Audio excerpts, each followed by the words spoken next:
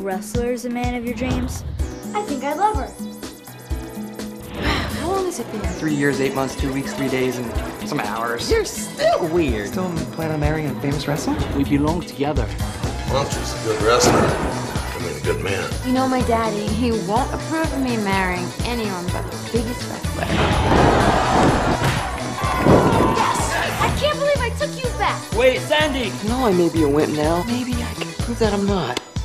I could rip your throat out. I'll get in the ring and I'll, I'll take you on. Ain't very big physical. Last thing I want is for you to see me getting killed. First day of wrestling heaven training.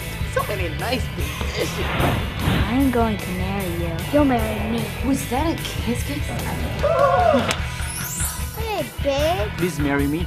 Marry me. This could get interesting.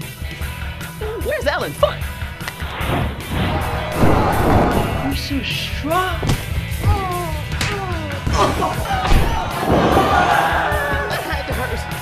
I'll be back. That's